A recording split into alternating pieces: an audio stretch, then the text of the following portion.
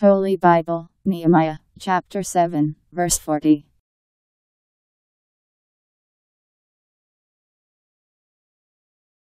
The children of Immer, a thousand and fifty two.